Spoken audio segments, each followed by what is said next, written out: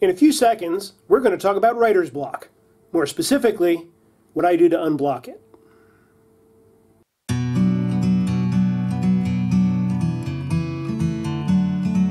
Hi, I'm John Gilstrap, author of the Jonathan Grave thriller series, and I don't think there's a writer out there that hasn't soon, at one point or another uh, encountered some form of writer's block.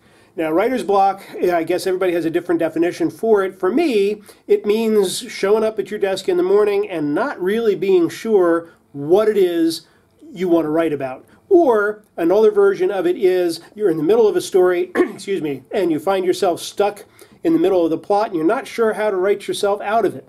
Well, there's one way that has worked for me for 18 books, and that is to the, go to the old fashioned manual methods, and that is a fountain pen and paper. Every book that I've written, certainly in the last 10 or 15 years, every book has its own notebook. The notebooks are my go to uh, resource if, if I get jammed up and for some reason the, the thoughts aren't flowing very well. I take my book, I open it up, I take my fountain pen. It's got to be good pen, it's got to be good paper. And once I start putting pen to paper, things start to flow. I don't understand why. I don't understand anything about what I do. All I know is that for me, it always works. And the cool part of it is that once you uh, establish, once, once you write it down in permanent form in your own handwriting, there's actually a permanent record of what it is you've written. In this day and age, you know, manuscripts go away.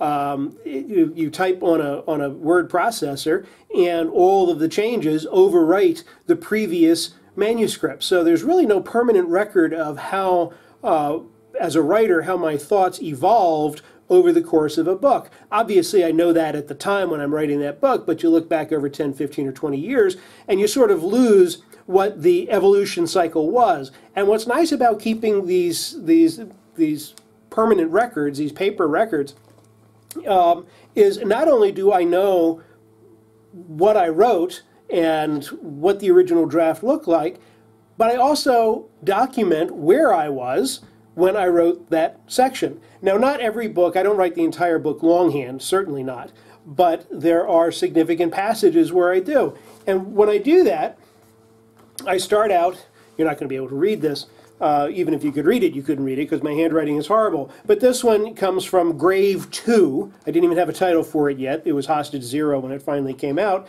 And I wrote this section in Carmel, Indiana on July 21, 2009 at the Doubletree Hotel. I used to travel a lot. Um, this one here, just randomly marked pages before we started here. August 22nd, 2015, Lombardi's Restaurant in Appleton, Wisconsin. This is a bit, starts around page 350 of Friendly Fire. And it goes like that for every book. And there's something, I don't, like I said, I don't understand what it is, but there's something about the physical contact of the pen on the paper. For me, it gets the thoughts flowing. So if you find yourself caught in a crack, if you are a writer and you find yourself caught in a crack, close the computer, walk away, go to a restaurant, go to a different place, sit down, and see if that doesn't work for you. It's always worked for me. So I hope you enjoy these videos, and if you do enjoy them, please subscribe to them at author John Gilstrap or like my Facebook page, which is John Gilstrap Author. If you don't do any of that stuff, as always, please take care and please keep reading. I'm John Gilstrap.